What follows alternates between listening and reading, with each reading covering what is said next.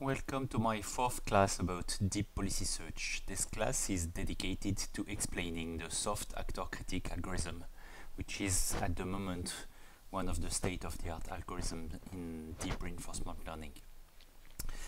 Before explaining SAC, I have to provide a quick reminder about the twin delayed deep deterministic algorithm or TD3. Okay. Um, the idea is that, as I mentioned in my class about DDPG that you can also find on YouTube, there is some overestimation bias in the critique in DDPG. As you can see, for instance, in this curve, here the, the values in the critique network are going too high with respect to the expected values, which in fact should converge to that particular value. And this overestimation, uh, overestimation bias uh, slows down the convergence of actor-critic methods and it has to be um, dealt with. So in TD3 what they do is that they have two critics, and each time they need the value in a critic, in fact they will consider the mean between the two values and this prevents overestimation and empirically the authors have shown that using these two critics uh, improves much the convergence of a DDPG-like algorithm.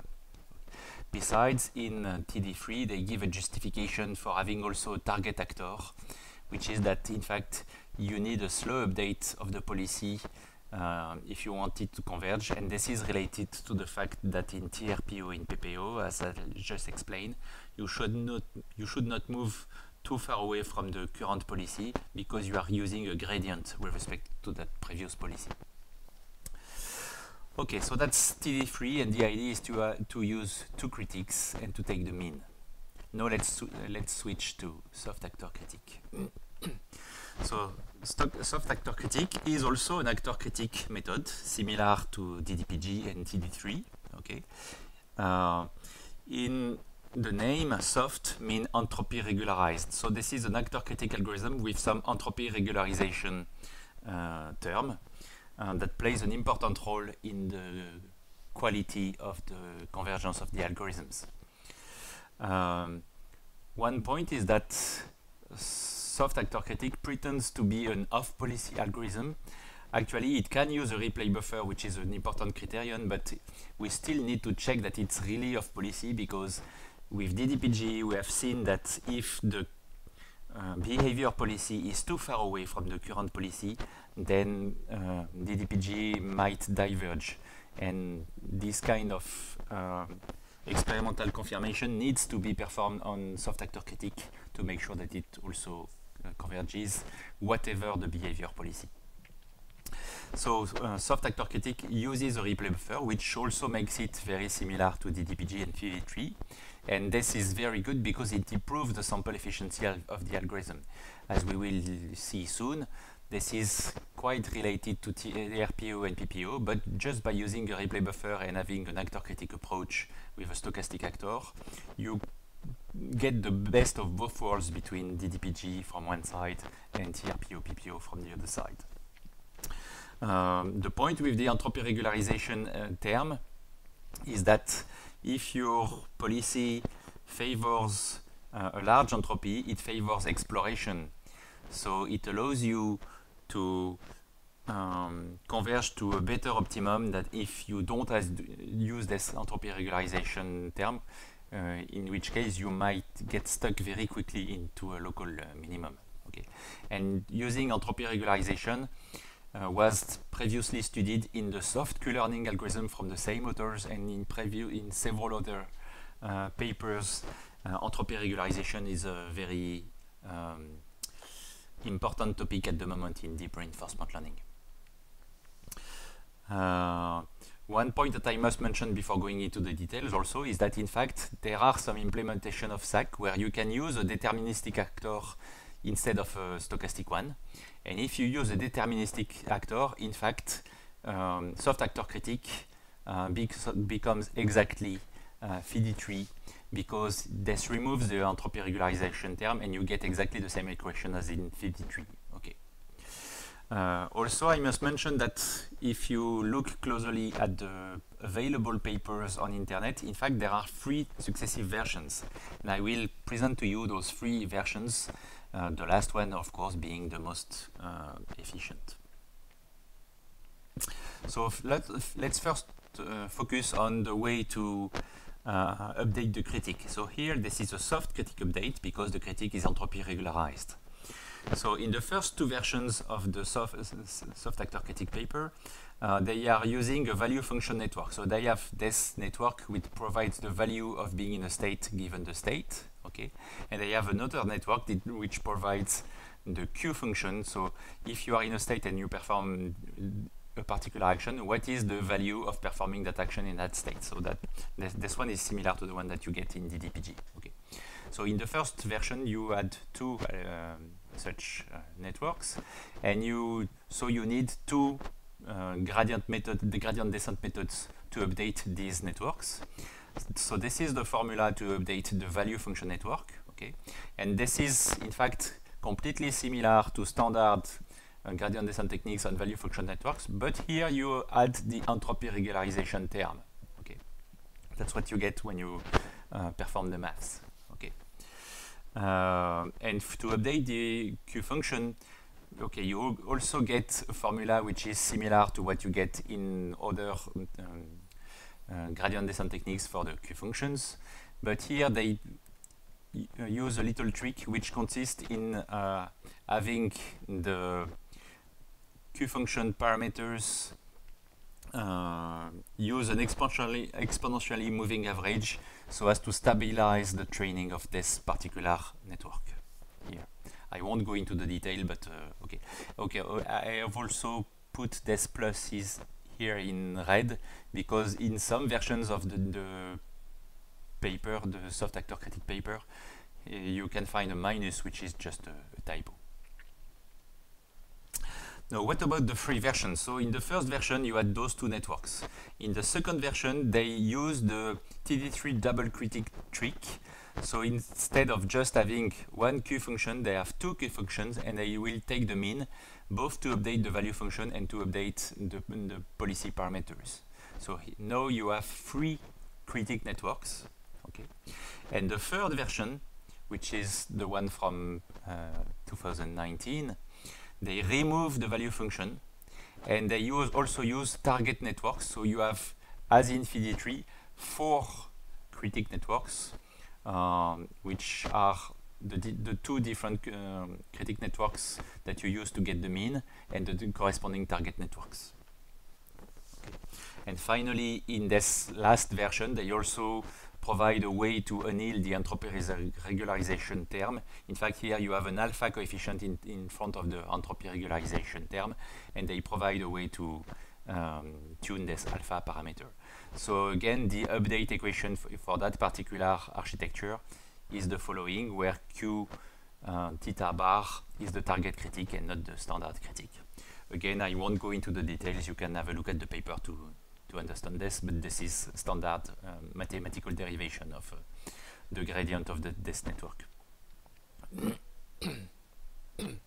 so this was about the critique. Now what about the actor?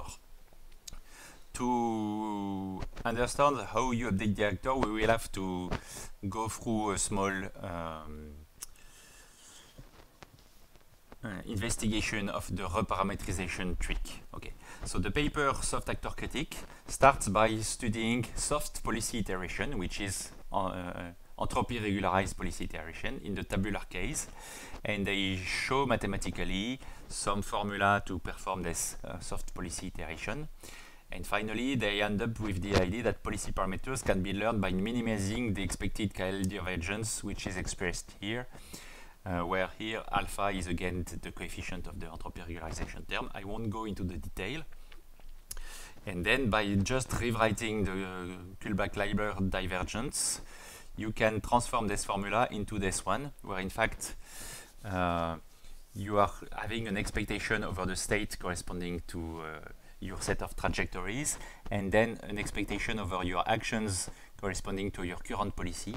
And then you have this term, which corresponds to, uh, in fact, re-expressing the KL divergence, which takes a log so the exponential disappears, and you just ignore this term because this dash does not change anything into the gradient, and you multiply by alpha. I, again, I don't give you the mathematical details, but uh, it's easy to derive this with a piece of paper uh, if you need uh, to do so.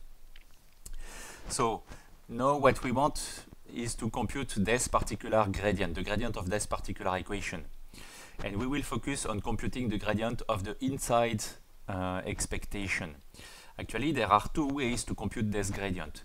One consists in using the standard likelihood ratio methods that I uh, explained into the second class of this policy search uh, series of classes. And the other one is using the reparametrization trick. And I will explain this to you in the next slide, but the important point is that if you use the reparametrization trick, you get a smaller variance, and I will just tell you why. So, we need to compute the gradient over uh, phi of this term, which was present in the previous equation. In the standard likelihood ratio method, you will sample these actions corresponding to this policy. You need to reorganize to introduce the gradient into the expectation, and you finally you obtain something with uh, with the log. Uh, okay, I don't go into the detail, but the point is that this term here is not function of the parameter phi. Okay, so it does not di depend directly on phi. Just no gradient of that with respect to phi appear in the equation. Okay. Um, okay, that's the point. A different way to perform this computation, which is the, the which is the policy reparametrization trick, consists in saying that in fact the action can be rewritten as some uh, using some uh, Gaussian. Okay. So here mu of phi of st is the mean action, and here you have epsilon times some variance, where epsilon itself uh, is uh, taken through a Gaussian. Okay, so instead of sampling the action here, we now sample the value of epsilon. This is the reparametrization trick. We change the parameter that we are sampling. Here we were sampling this, and now we are sampling that. Okay, and by doing so, this changes um, where here what's the function of phi or not because here as you see I'll, the, the, action is function of phi because I am using a network parameterized with phi uh, to get this action so now the q value of st at becomes the q value of st and mu phi of st plus uh, epsilon t sigma of st there, there should be a sigma phi here. Sorry my mistake.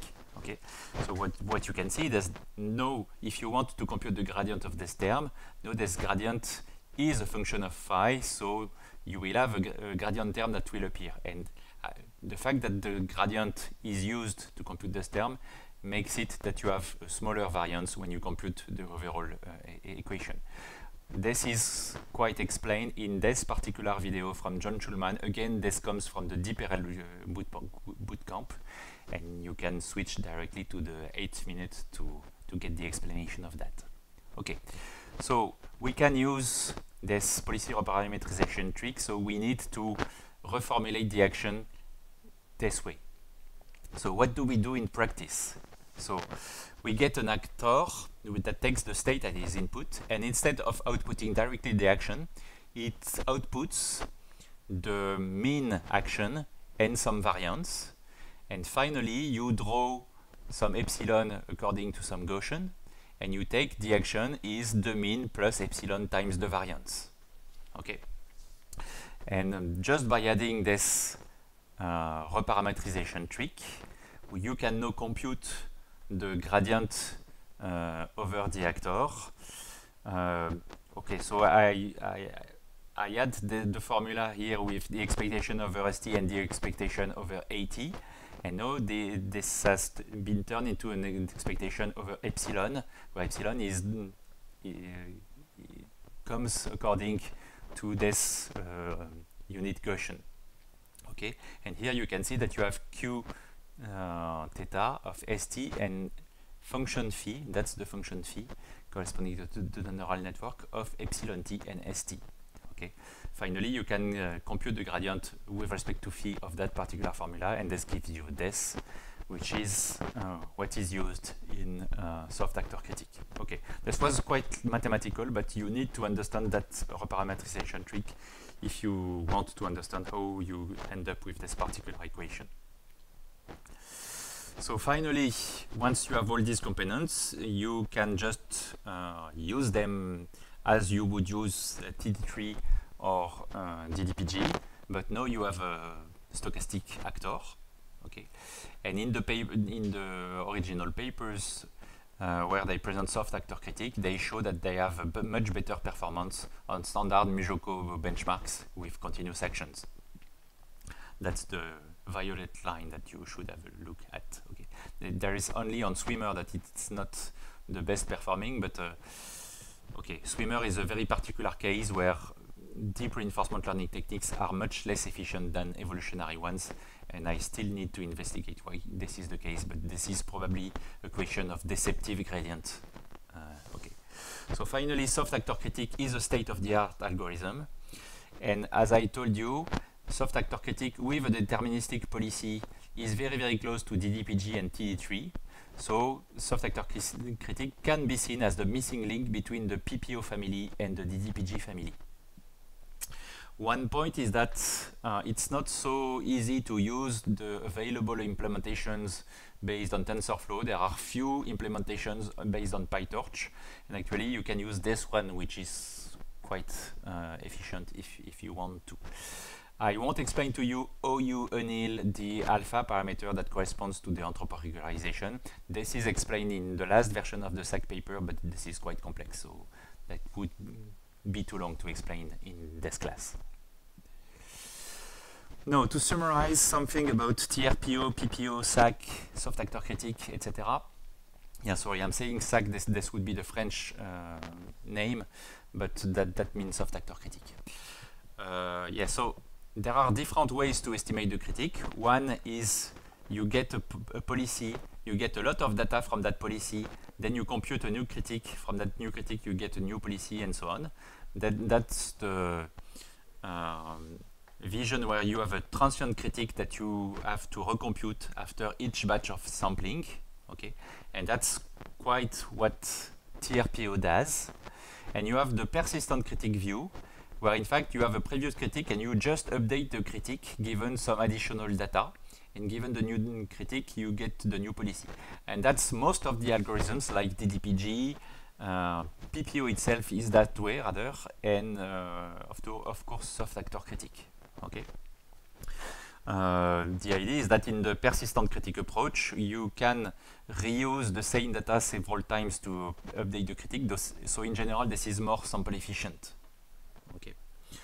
Uh, so TRPO uses more Monte Carlo, and uh, PPO uses a persistent critique, SAC also, and so it's more sample efficient, it's step-based, and it's said to be off policy, and this has to be checked. So what I wanted to stress with this previous slide is in fact that there is a continuum between the transient critique and persistent critique approaches because for instance if you are using the n-step return uh, trick that allows you to deal with the bias variance uh, issue uh, or trade-off in fact if you are using n very large you will go towards transient critique and if you are using n very small you are more uh, towards persistent.